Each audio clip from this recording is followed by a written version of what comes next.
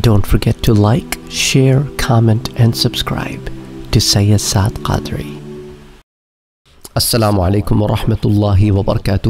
تو جناب، آج بات ہوگی کمبوہ قوم کے محل وقوع یعنی جغرافکلی کہاں پر موجود تھے، اس قوم کے جو میننگ ہے کمبوہ، اس کا کیا مطلب ہے؟ یہ کن کن ویریشن میں کتابوں میں پایا جاتا ہے؟ آئیے اس کی تفصیلات دیکھتے ہیں۔ کمبوہ قوم کی تاریخ سے متعلق آج دوسرا درس ہے۔ آج ہم کمبوہ قوم کے اصلی آبائی وطن کا محل وقوع اور اس سے متعلق جو دیگر بحثیں ہیں، ان کو دیکھنے کی کوشش کریں گے۔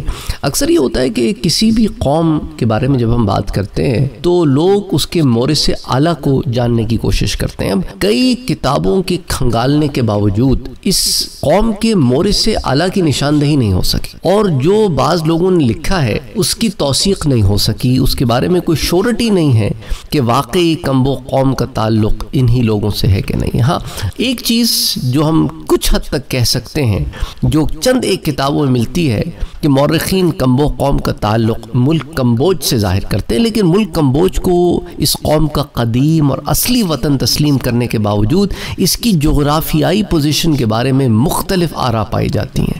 مثال کے طور پہ اگر ہم ڈاکٹر موتی چندر کے بارے میں دیکھیں، جنہوں نے اپنے مقالہ میں J U P H S جلد نمبر تین حصہ نمبر دوم، صفحہ نمبر 42 پر لکھا ہے The Kambojans were important people but strange as it may look the Indologists are not at all unanimous in the location of the country. یعنی کہ کمبوج ایک اہم قوم تھے، لیکن کسی قدر عجیب معلوم ہوتا ہے کہ ماہرین ہندوستانیات ان کے ملک کی جائے وقوع کے معاملے میں قطعا متفق الخیال نہیں نظر آتے۔ یعنی کہ ان میں کوئی اتفاق رائے موجود نہیں ہے، کوئی کنسنسس موجود نہیں ہے کہ آیا یہ کہاں پہ ہیں، یہ ہسٹورینس جنہوں نے انڈیا کے اوپر ریسرچ کی ہے۔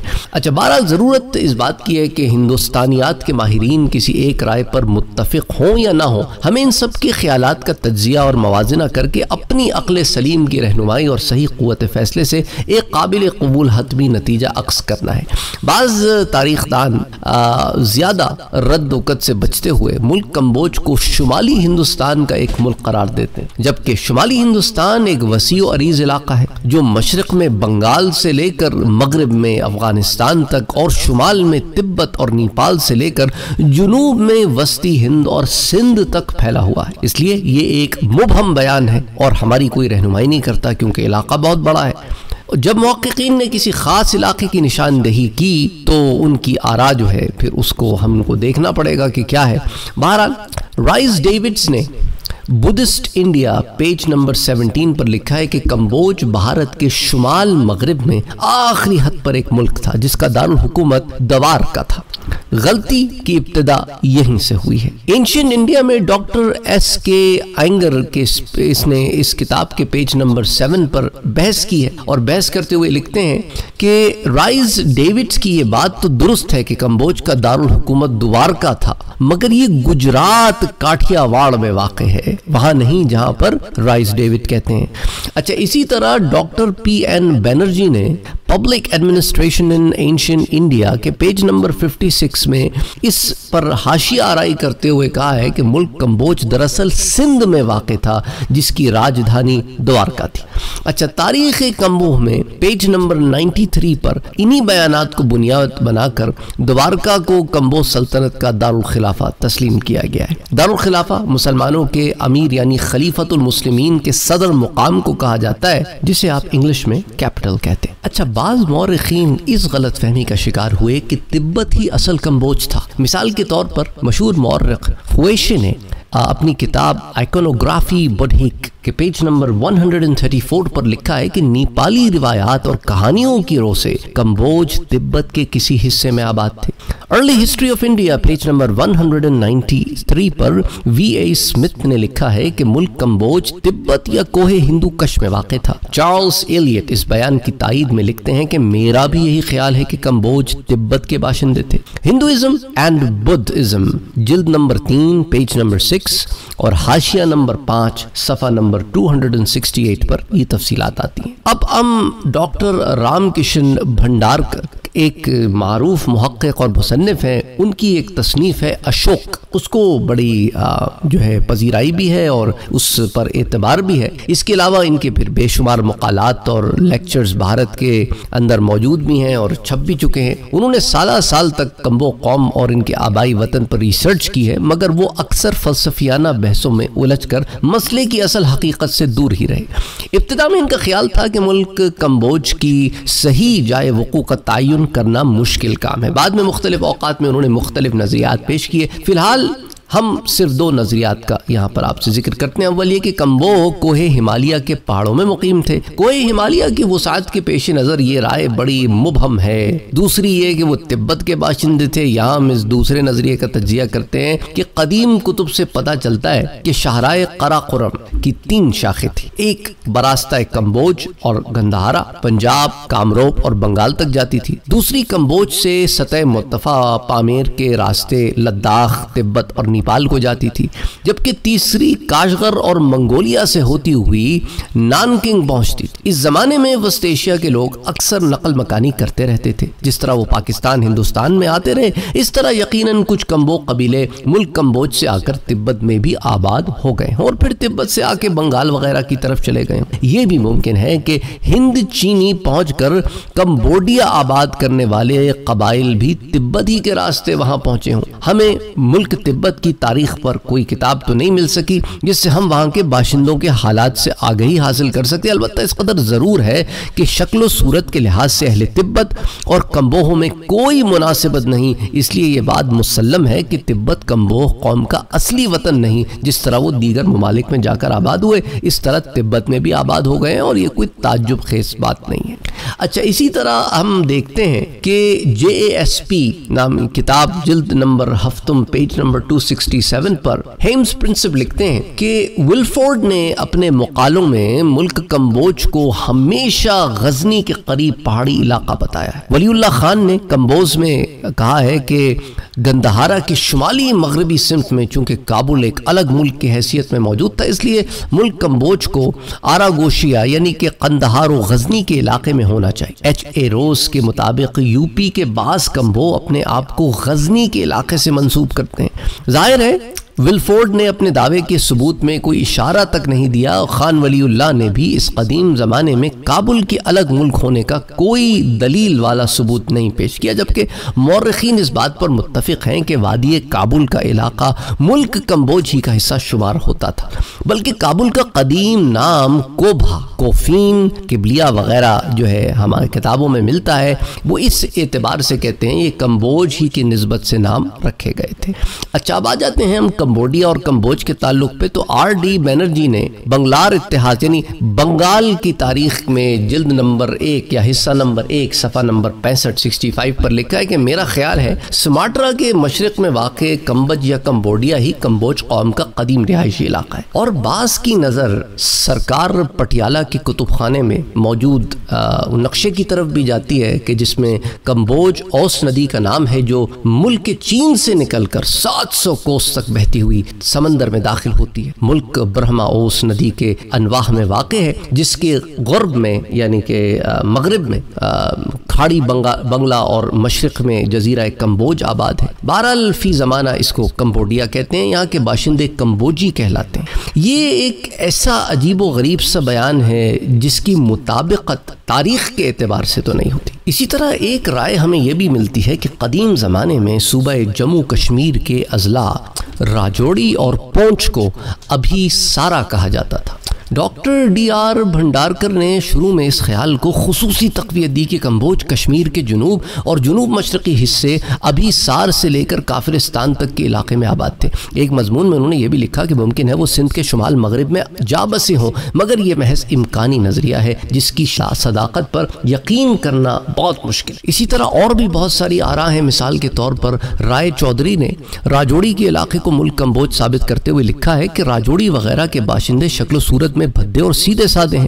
آداد و خسائل کے لحاظ سے اکھڑ، جاہل اور تشدد پسند ہیں۔ بگڑی ہوئی بولی بولتے ہیں، ان میں اخلاق کی کمی ہے، ایمانداری برائے نام ہے، وہ لوگ بھارت کے باشندے ہی نہیں۔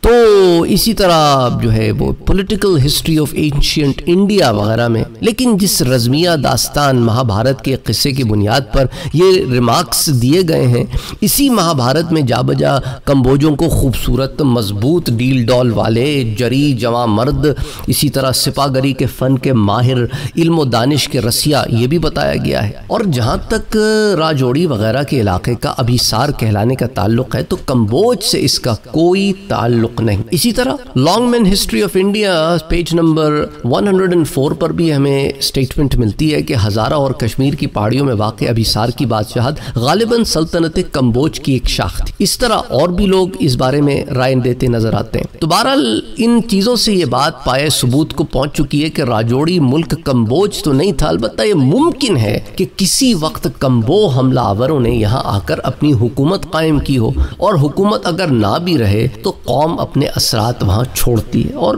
آپس میں میل جول کی وجہ سے، شادی بیاہ کی وجہ سے کوئی نہ کوئی نسلیں وہاں آباد رہتی ہیں۔ اچھا اب آ جاتے ہیں کچھ متفرق بیانات کے بارے میں بات کرتے ہیں جو ملک کمبوج کی جائے وقوع سے متعلق ہیں کہ ایس ایم علی نے جغرفی آف پرناس پیج نمبر 145 پر لکھا ہے کہ ملک کمبوج دریائے کنہار کی گھاٹی میں آباد تھا اور اس میں کمبوج لوگ بسے ہوئے تھے۔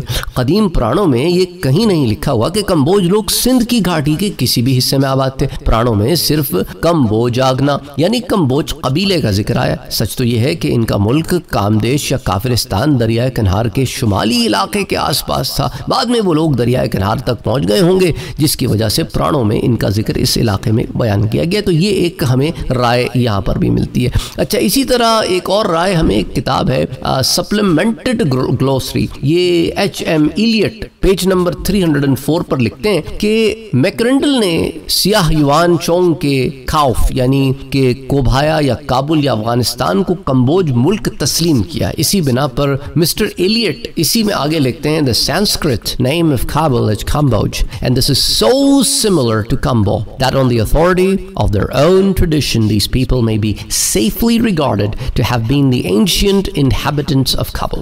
یعنی کابل کا سنسکرت نام کمبوج ہے اور یہ لفظ کمبو اس قدر مواصلت رکھتا ہے اس چیز سے کہ ان کی اپنی روایت کی بنیاد پر ان لوگوں کو بڑے یقین سے کابل کے قدیم باشندے کہا جا سکتا ہے۔ ان اس خیال کی تائید Longman history of India 1940 میں لکھی ہوئی اس کتاب کے پیج نمبر 92 کے ان الفاظ سے ہوتی ہے کہ اغلب خیال یہ ہے کہ کمبوج گندھارا کے عین مغرب میں واقع تھا۔ تھا اور اس کی حدود کافرستان تک پھیلی ہوئی تھی، جہاں کمبوجی نام کے قبائل آج بھی موجود ہیں۔ پشاور گندھارا کا دارالحکومت تھا اور اس کے مغرب میں کابل ہی واقع ہے۔ اسی کتاب کے پیج 133 پر 130 پر بلکہ یہ بھی لکھا ہے کہ چندر گپت کی وسیع سلطنت میں زیر تسلط صوبوں کے علاوہ ایسے بھی کئی ملک ہوں گے جن کو فتح کرنے کے بعد جاگیرداری بنیاد پر آزاد رہنے دیا گیا ہو۔ اور اس زمن میں بھی آپ کو کچھ اور انفارمیشن مختلف کتابوں میں مل جاتی ہے۔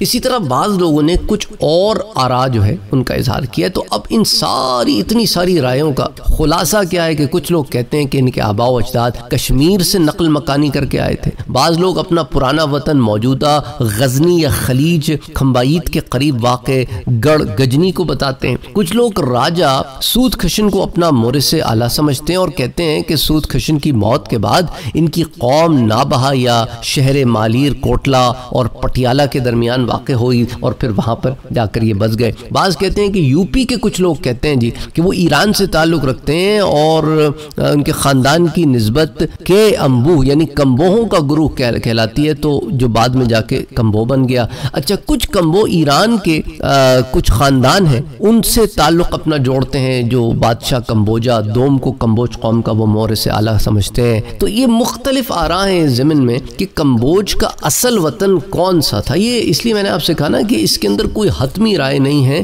اتنی زیادہ آ رہا ہیں لوکل ہسٹورینز کی بھی اور ویسٹرن آتھرز کی بھی اور دوسرے اور ممالک سے آنے والے لوگ جنہوں نے ہندوستان میں آئے اور یہاں پہ ریسرچ کی، انہوں نے اس کے بارے میں مختلف رائےوں کا اظہار کیا ہے۔ تو ایک رائے یہ بھی ہو سکتی ہے کہ یہ قوم نے بہت زیادہ موومنٹ کی ہو یا فاتح رہے ہوں، فتح کرتے کرتے مختلف علاقوں میں چلے گئے ہوں، تو وہاں، جہاں جہاں تک یہ پہنچے، وہاں وہاں ان کے ملک موجود ہیں۔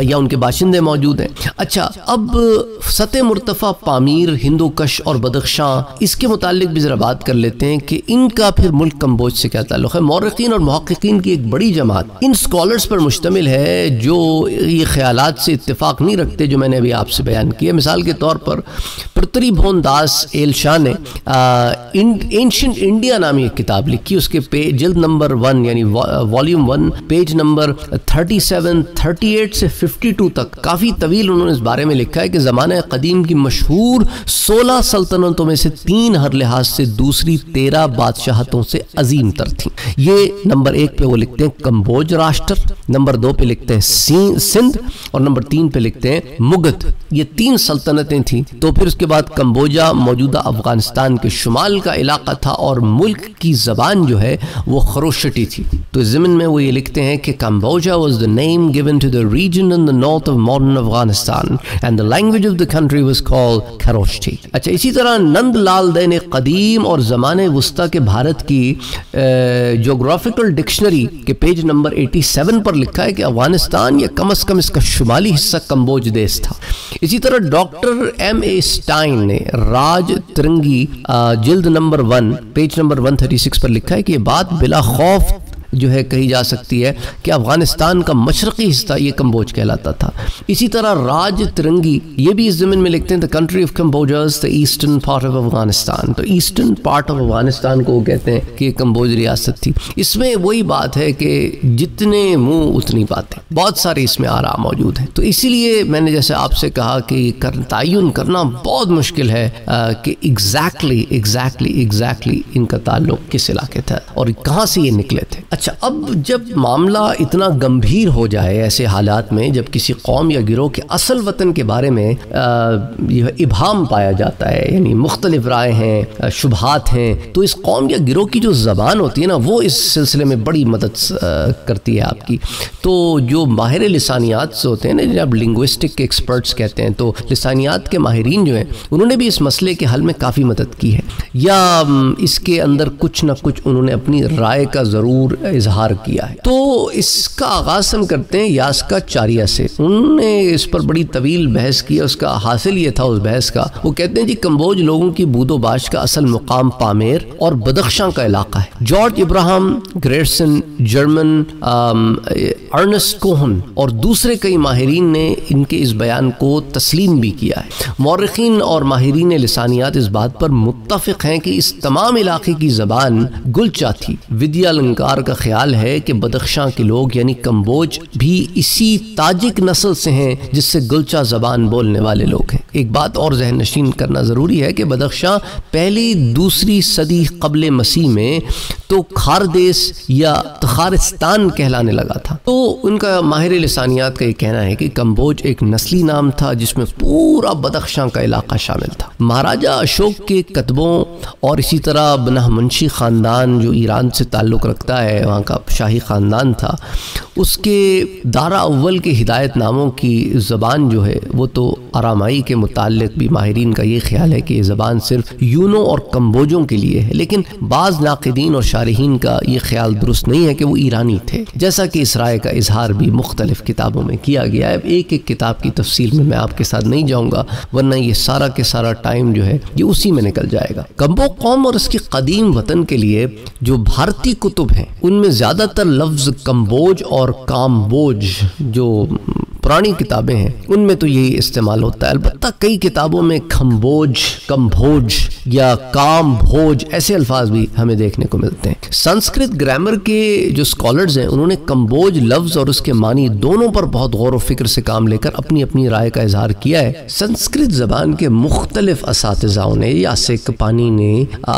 پتنجلی وغیرہ نے اپنی اپنی تصانیف میں لفظ کمبوج استعمال کیا ہے۔ جبکہ رامائن مہا بھارت پرانوں اور اور دوسری کتابوں میں لفظ کام بوجھ استعمال کیا گیا ہے۔ اب پہلے جن کا میں نے آپ سے ذکر کیا، یاسک پانینی وغیرہ، تو ان کی رائے ہے کہ کمبوج ایسا لفظ ہے جس سے ملک کے نام کے علاوہ کمبوج کھشتری کی اولاد اور کمبوج راجہ وغیرہ کے مطلب بھی نکلتے ہیں۔ جبکہ دوسرے ممالک مثلا مگد، سندھ اور دوسرے وغیرہ لفظ جو ہیں وہ صرف ملک کو ظاہر کرتے ہیں، وہاں کے رہنے والوں کے لیے استعمال نہیں ہو سکتے اس کے لیے پھر مگدی سندھ سندھی وغیرہ کہا جائے گا، جبکہ کمبوج ملک اور قوم دونوں کے لیے یہ لفظ استعمال ہوتا ہے۔ تو یاسک کے مطابق تو کمبوج ملک ملک کمبوج کے رہنے والی خشتری اور کمبوج جو ہے وہ ملک کا راجہ اور کمبوج خشتری کی اولاد وغیرہ سب کے لیے ایک ہی لفظ جو ہے وہ استعمال کرتے ہیں، کمبوج۔ اور وہ کہتے ہیں کہ لفظ کام بوجھ یا کمبوجی نہیں استعمال کرنا چاہیے۔ البتہ پانی نے اس میں کچھ اضافہ کیا۔ اس کے مطابق خاص مقام پر لفظ کام بوجھ کا استعمال بھی گرامر کی رو سے درست ہے۔ صورت میں کام بوجھ کا مطلب ہوگا وہ آدمی جس کے آبا و اجداد کا آبائی وطن ملک کمبوج ہو۔ کام بوجھ کا جو دوسرا مطلب صحیح تسلیم کیا گیا ہے وہ یہ ہے کہ ملک کمبوج میں پیدا ہونے والا۔ اسی لیے ملک کمبوج میں پیدا ہونے والے گھوڑے اور دوسری اشیاء تجارت بھی جو کمبوج سے بھارت میں آتی تھی، ان کو کامبوج کے نام سے ہی پکارا جاتا تھا۔ لیکن رامائن مہا بھارت پرانوں وغیرہ میں کمبوج اور کامبوج کے مفہوم میں کوئی فرق نہیں رکھا گیا۔ اور جہاں تک لفظ کمبوج کے میننگ یعنی معنی کا تعلق ہے ہے تو سب سے پہلے یاسک نے یہ لفظ استعمال کیا۔ وہ اسے دو الفاظ کم اور بھوج کا مرکب بتاتا ہے۔ کم کے بھی دو معنی لکھے گئے۔ ایک خوبصورت، عمدہ، پسندیدہ اور دوسرے کمبل۔ لفظ بھوج کے معنی جو ہے وہ بھوگ یا استعمال کرنے والا۔ گویا پہلے معنی ہوئے عمدہ اشیاء استعمال کرنے والے، مرغوب اور پسندیدہ کھانے کھانے والے۔ اس کی وجہ یہ ہے کہ ملک کمبوج میں بہترین قسم کے پھل، شہد اور عمدہ چاول وغیرہ وغیرہ کی بہتات تھی۔ اسی لیے بی سی لا نے قدیم ہندوستان کے چند کھشتری قبیلے میں لکھا ہے، The Kambojars may have been so called because they were Kamania bhojers or enjoyers of pleasant things. یعنی ان کو کمبوج اس لیے کہا جاتا ہوگا کیونکہ وہ کامنی بھوج یعنی خوشگوار اشیاء سے لطف اندوز ہونے والے لوگ تھے۔ کم بوجا یا کم بھوجا کے دوسرے معنی یہ بتائے گئے ہیں کہ وہ کمبل بھوجا یعنی کمبل پہننے یا اوڑھنے والے تھے۔ ڈاکٹر موتی چندر کے مطابق، جو انہوں نے نے کتاب لکھی J U P H S جس کے مخفف ہے، اس کے شمارے میں انہوں نے پیج 39 پر انہوں نے لکھا ہے the Kambojas are Bhojas with woollen shawls اور ہینسم بھوجاز یعنی کمبوج اونی شال، اونی کمبل اوڑھنے یا خوبصورت چیزیں استعمال کرنے والے، عمدہ کھانے کھانے والے لوگ تھے۔ تو بہرحال اس سے یہ بھی پتہ چلتا ہے کہ ان کے متعلق یہ بات بھی ہمارے سامنے آتی ہے کہ وہ کس لائف سٹائل کو جیتے تھے۔ اس مقام پر بعض مورخین نے جو مسلمان مورخین ہیں، انہوں نے یہاں پہ ایک بڑا زبردست پوائنٹ لکھا ہے۔ انہوں نے کہا، یہ دیکھو کہ وہ کمبوہ جو مسلمان ہو گئے، ان کو کمبل سے نسبت ہونے کی وجہ سے اللہ تعالیٰ نے جب انہیں دین اسلام بخشا اور ان کی ہدایت کا سامان ہوا، تو کملی والے سے نسبت ہو گئی کہ حضور صلی اللہ علیہ وآلہ وسلم کو بھی قرآن کریم میں یا ایوہل مزمل کہہ کر جو پکارا گیا، اے کملی اوڑنے والے۔ یہ بڑا لطیف محبت کا نقطہ انہوں نے اٹھایا ہے۔ اچھا ایک غلطی جو ہوئی ہے نا ڈیفینیشنز میں، وہ جیسوال، ڈاکٹر جیسوال ہے انہوں نے کم بھوج کا معنی کمتر بھوج یعنی انفیریئر بھوجا بتایا، بڑی عجیب سی بات ہے، حالانکہ لفظ کم یہاں پہ انہوں نے فارسی والا اٹھا لیا، کم یہاں سنسکرت کا لفظ ہے، فارسی کا نہیں ہے، کسی فارسی لفظ کو سنسکرت لفظ کے ساتھ ملا کر مرکب بنانا، یہ ازروئے گرامر بالکل غلط ہے، دوسرے یہ کہ انہوں نے اپنی خود ساختہ نئی ترکیب گھٹیا بھوج کا جو کوئی مطلب عجیب سی بات ہے، سمجھ میں نہیں آتا کہ مورخین نے بھی اس کے اوپر بڑی نشاندہی کی ہے کہ انہیں اس قسم کی عجیب و غریب سی ڈیفینیشن نہیں نکالنی چاہیے تھی۔ اسی طرح ایک لفظ ہم پاتے ہیں کمبوج۔ یہ یو پی کا علاقے میں، ہریانہ کے علاقے میں، ہندو کمبوہوں میں یہی لفظ رائے جائے جی۔ ان علاقوں کے لوگ فخریہ طور پر خود کو کشتری کمبوج کہتے ہیں۔ مشرقی پنجاب کے ہندو اور سکھ بھی یہی لفظ کمبوج استعمال کرتے ہیں۔ البتہ اب سکھوں میں کمبوج قوم کی بجائے گوت لکھنے کا رواج بڑھتا جا رہا ہے۔ مشرقی پنجاب کے شہر مالیر کوٹلا میں مسلمان کمبوج کمبو بہت تعداد میں موجود ہیں۔ ہندو سکھ بھائیوں کے زیر اثر وہ بھی کمبوج کہلانے لگے ہیں۔ یہاں تک کہ Islamia Kambo high school Islamia Kamboj high school کے نام سے رجسٹر ہو گیا۔ اچھا لفظ کمبوہ کی تحقیق میں مورخین یہ لکھتے ہیں کہ لفظ کمبوج میں سے جیم کا نکال کے ساؤنڈ ہا کی ساؤنڈ لگا دی گئی ہے۔ جیسا کہ راجہ سے رائے بن گیا۔ تو کمبوج کے مقابلے میں کمبوہ جو ہے وہ زیادہ فصیح ہے۔ پاکستان اور ہندوستان کے مسلمان کمبوہ یہی لفظ استعمال کرتے ہیں، لیکن مراد کمبوج ہی ہوتی ہے۔ زبان کا ایک عام اصول ہے کہ اس کی دو شکلیں ہوتی ہیں، ایک وہ جو عام لوگ بولتے ہیں اور ایک وہ جو لٹریچر میں موجود ہوتا ہے۔ اچھا اسی طرح ہم دیکھتے ہیں کمبوہ ایک لفظ۔ در حقیقت یہ لفظ کمبوہ کاف میم بے واو ہے تھا، جس کو کاف نون بے واو ہے لکھا جانے لگا۔ تو بھارت میں لکھی گئی فارسی کتب میں اکثر اسی طرح لکھنے میں آیا ہے۔ بطور مثال فارسی میں کچھ ایسے الفاظ ہوتے ہیں جنہیں آپ جب اردو میں لکھتے ہیں تو ان کو اس طرح نہیں لکھتے جس طرح یہ فارسی میں لکھے جاتے ہیں۔ اس کی بہت ساری مثالیں اب ہم لٹریچر وغیرہ میں نہیں جاتے۔ تو آج تو ہم نے ڈسکس کیا کہ کمبو قوم جو ہے، وہ ان کی لنگوسٹکس کے متعلق کچھ باتیں، ان کی لوکیشن کے متعلق کچھ باتیں، ان کے نام کے متعلق کچھ باتیں۔ اگلی دفعہ پھر ہم سٹارٹ کریں گے کہ ان کی ابتدا اور ان کی قومیت، اور اسی سے ملتے جلتے کچھ اور باتوں پر بات کریں گے انشاءاللہ تعالی۔ السلام علیکم ورحمۃ اللہ وبرکاتہ۔ اور آپ کی سہولت کے لیے واٹس ایپ کا گروپ بھی بنا ہوا ہے اور ٹیلی گرام کا چینل بھی بنا ہوا ہے۔ دونوں کے لنکس ڈسکرپشن میں موجود ہیں۔ اگر آپ نے ابھی تک ہمارے چینل کو سبسکرائب نہیں کیا ہے تو سبسکرائب کا بٹن دبائیں، بیل کے آئیکن کو پریس کریں تاکہ آپ کو ریگولر نوٹیفیکیشن اپڈیٹس مل سکے اور آپ ہمیں ہمارے لائیو سیشنز میں بھی جوائن کر سکیں۔ ویڈیو پسند آنے کی صورت میں لائک شیئر اور کمنٹ کرنا نہ بھولیں۔